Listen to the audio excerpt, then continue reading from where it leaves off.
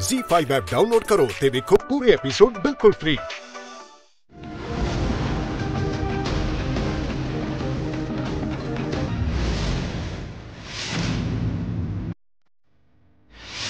ਝੂਠ ਬੋਲਣਾ ਗਲਤ ਹੈ ਪਰ ਕਿਸੇ ਚੰਗੇ ਕੰਮ ਲਈ ਬੋਲਿਆ ਝੂਠ ਕਿਸੇ ਸੱਤ ਤੋਂ ਵੱਧ ਪਵਿੱਤਰ ਹੁੰਦਾ ਹੈ।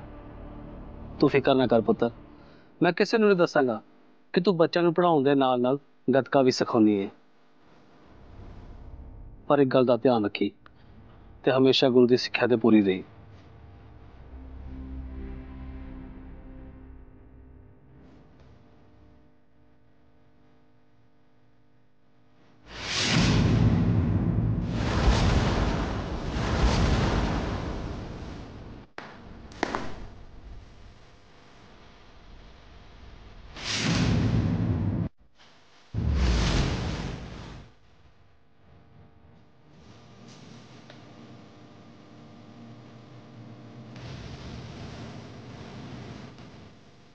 ਜਾਂ ਜੱਸੀ ਉਹਨੂੰ ਫੋਨ ਕਰ ਵੇਖ ਕਿੱਥੇ ਰਹਿ ਗਈ ਜੇ